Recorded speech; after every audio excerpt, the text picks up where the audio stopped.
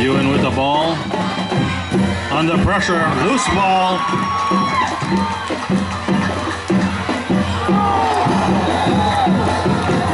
Making a stop for Waianae. Number two, Brandon Hattori.